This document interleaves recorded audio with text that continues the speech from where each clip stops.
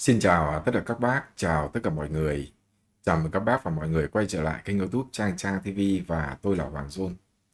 Bây giờ thì đang là 11 giờ 30 phút buổi trưa của ngày thứ ba ngày mùng 1 tháng 8 năm 2023. Và rất nhiều bác thì muốn tôi bình luận về cái sự kiện đó chính là việc mà Chủ tịch Hà Nội, Chủ tịch Hà Nội tức là ông Trần Sĩ Thanh thì có gửi một cái bức thư cảm ơn với ban nhạc Blackpink. Một cái bức thư như vậy.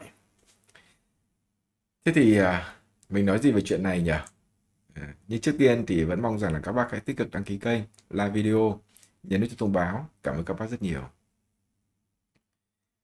Cái câu chuyện mà trên mạng và nói chuyện rồi là bình phẩm rồi là nọ kia thậm chí đang có một cái nó suy diễn mà tôi cho rằng là đi quá đà đó là cái việc mà các nước khác thì đến Việt Nam mà thu đến hàng triệu đô la còn chúng ta thì không thu được nước ngoài kiểu kiểu như thế. Rồi thậm chí là có một cái gì đó nó nâng tầm lên nó nâng tầm lên bảo rằng là các bé gào thét nọ gào thét kia vân vân thần tượng những cái thứ đó rồi là tinh thần như thế nào tinh thần đó kia.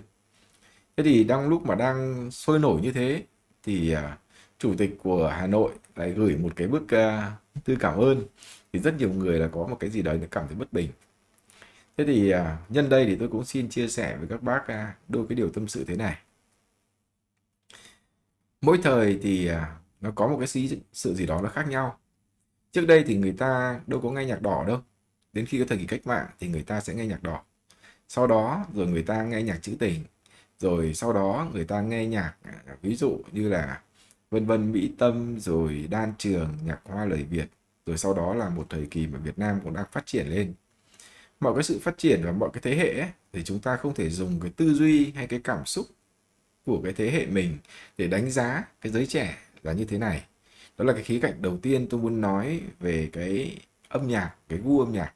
Bởi vì khi nhìn thấy các bé là gào thét rồi là nọ khi vân vân thì nhiều người cảm thấy rất là bức xúc.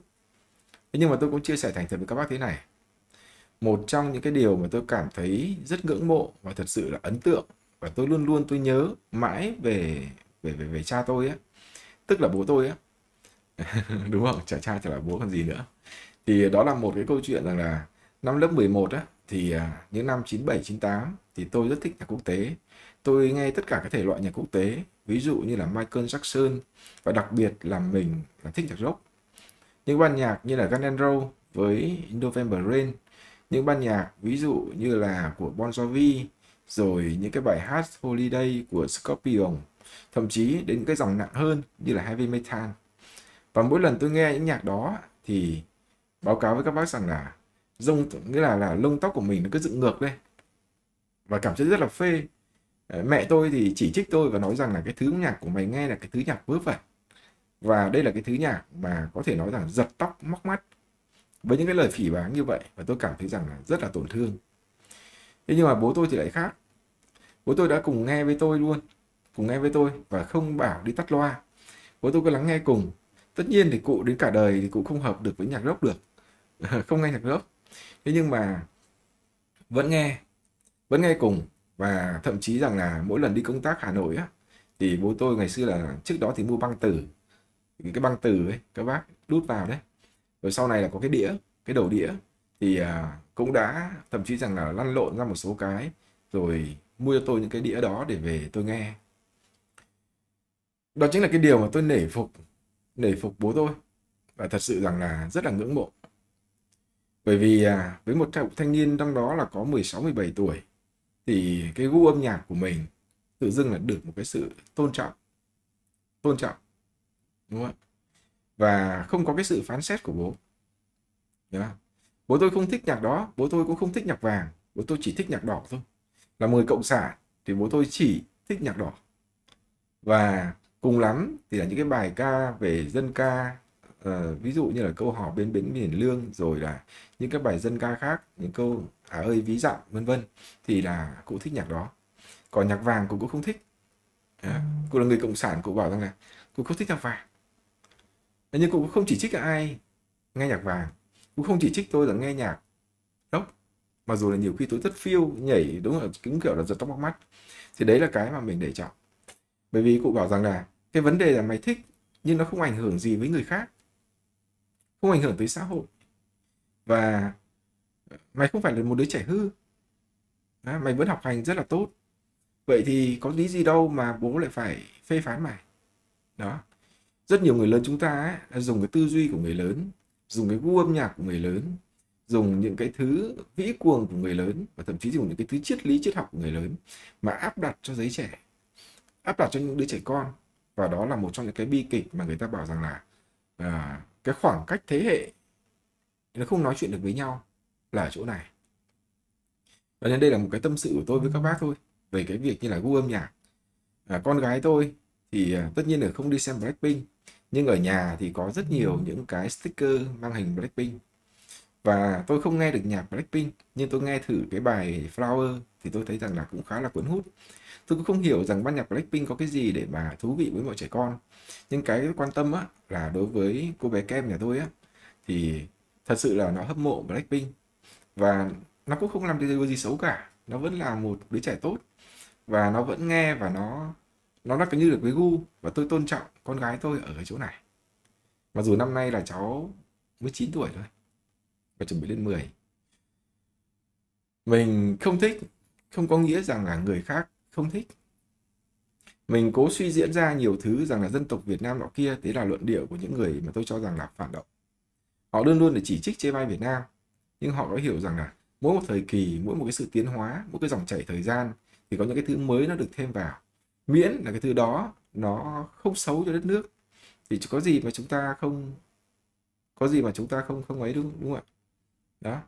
Còn về phía của của của vị chủ tịch của thành, nghĩa là chủ tịch của Hà Nội á, thì có gửi một cái bức thư cảm ơn, nghĩa là cái ban nhạc rất là nọ kia vân vân.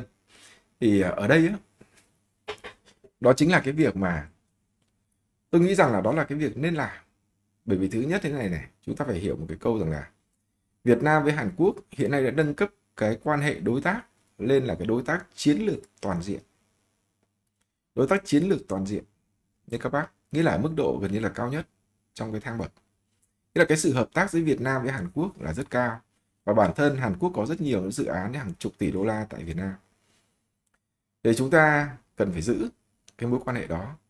Và ban nhạc Blackpink với ban nhạc BTS một số ban nhạc khác thì ở người Hàn Quốc coi đó là quốc hồn quốc bảo thế cho nên ấy cái việc mà Blackpink này đến Việt Nam để mà lưu diễn thì nó không chỉ là cái việc mà mà mà một ban nhạc thông thường mà ở đây ấy, nó cũng có là một cái gì đó sự ngoại giao.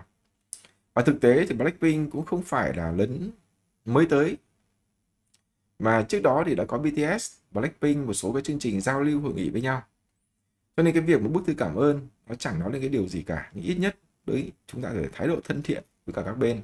Thì tôi cho rằng là ông Trần Sĩ Thanh hoàn toàn có thể gửi hãy hoặc hoàn toàn có thể không gửi cái điều đó. Nhưng ấy, nếu gửi thì ít nhất cũng thể hiện rằng là mình có một thái độ thân thiện. Một trong những lý do bức xúc và chắc chắn các bác cũng cũng nói đó là cái việc mà liên quan tới đường lưỡi bò. Cá nhân tôi thì việc nào ra việc đó đúng không ạ? Việc nào ra việc đó? À, các công ty ở Việt Nam đến Việt Nam làm ăn kinh doanh thì bắt buộc phải tuân theo pháp luật Việt Nam và các quan điểm của Việt Nam. Không được phép có cái đường lưỡi bò ở đây á đó là công ty IMA thì ờ, IMA đấy IMA thì công ty này là cái công ty mà tổ chức cái buổi biểu diễn. Tức là các bác hiểu rằng cái công ty này là công ty của Trung Quốc và nó chuyên đi tổ chức các buổi biểu diễn. Thì một bên nó sẽ thuê bên Blackpink và bên nó sẽ thuê bên này để mà mời Blackpink về. Gán ghép việc các cô ca sĩ Blackpink của Hàn Quốc vào một cái sự kiện chính trị thì tôi nghĩ rằng là nó là không ổn. À, cũng tôi cũng không kêu gọi tẩy chay cái việc Blackpink nhưng chúng ta phải xem xét kỹ cái công ty đó. Cái công ty đó. Đó. Cái công ty đó công ty này thì cũng đã có một cái lời xin lỗi rồi.